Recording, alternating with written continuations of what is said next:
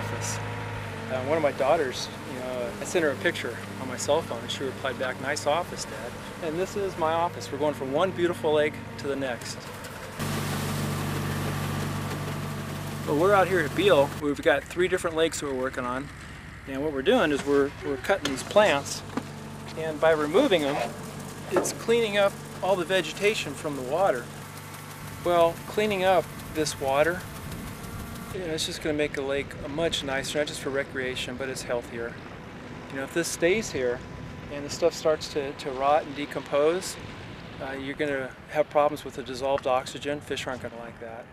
And it's just going to get messy. It's not just a job, I love it. You know, the first 25 years of my career I was down in Silicon Valley. I wore a tie and all that junk.